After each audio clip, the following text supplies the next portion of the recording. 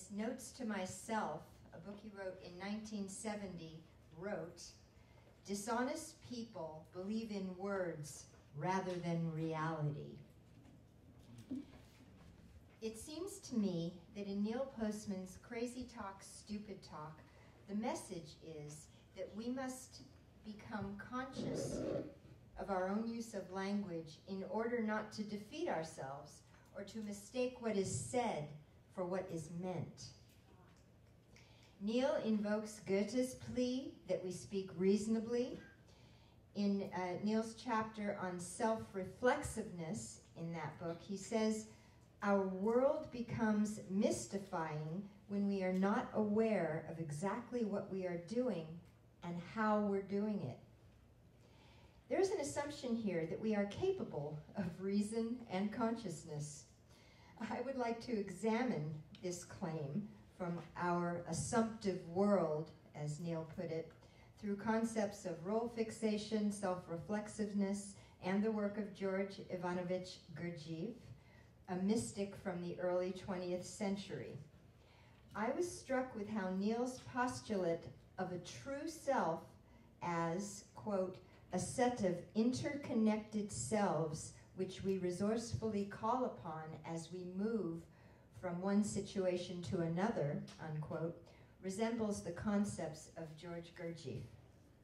Born in the 1870s in the Caucasus region, region of Russia, Gurdjieff devoted his life to discovering the secrets of the great religions, uh, Sufism, Hinduism, Christianity, and Buddhism, and translated them into practical exercises and ideas that could be assimilated by the likes of writers Katherine Mansfield, A.R. Orage, J.B. Priestley, Albert Camus, Peter Brook, who directed the film of Gurdjieff's Meetings with Remarkable Men, you may have heard of that, and many other explorer followers of the work, as Gurdjieff's practices are called.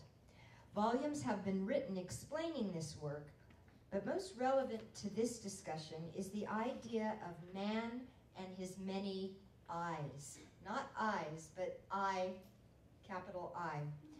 While Neil describes our many roles as having some consistency, Gurdjieff described man as a machine whose psychological functioning is characterized by his inconsistency. Gurdjieff said, the I in control of a person's behavior at any given moment is determined not by his personal choice, but by a reaction to the surrounding environment, which evokes one or another I. The human being cannot choose which I to be, the situation chooses. This resembles George Herbert Mead's claim that, quote, all selves are called into existence by social context. But Gurdjieff puts forward the idea that having a will or unity in the choices of ourself is an illusion. He says, our behavior is elicited, not emitted, and what happens to us occurs entirely because of external influences and the accidental associations of conditional history. We have no capacity to do. In fact, no function of will at all, unquote. Further, Gurdjieff states, these many I's or selves may not be in sympathy with each other and may not even be aware that the others exist. For example, we've all experienced this. Why is it we swear not to smoke again or to lose 10 pounds by Christmas and the next thing we know, we're eating cake and chain smoking. One I decided to quit the habit, another prefers a smoke. As Jesus said, and Buddha and Mohammed, etc., we are asleep or mechanical, unaware, and habitual in our behavior and must wake to our true selves. This true self, Gurdjieff calls essence, and we may rediscover it it was operative when we were infants through self-observation and much inner work. This work consists of slowly identifying and eliminating the inexperienced selves that Neil mentions, who, he says, cannot manage affairs well because they do not know enough about the situation, and finding the one master I who can be in charge of all the others and so guide us to our essence and real ability to do in the world. Gurdjieff's ideas are valuable constructs that help us observe and identify our different selves and show us how our environment picks which self to use. Another Russian, P.D. Ouspensky, follower and writer on Gurdjieff, states, we cannot know the truth because we can, but we can pretend to know. And this is lying. Lying fills our life. People pretend to know all sorts of things about God, about the future life, about the universe, about the origin of man, about evolution, about everything. But in reality, they do not know anything even about themselves. And every time they speak about something they do not know as though they knew it, they lie. Unquote. We are liars all. I believe this is an apt description of stupid talk. This is what Goethe meant when he said, a word comes to take the place of understanding, isn't it? We don't know, so we lie.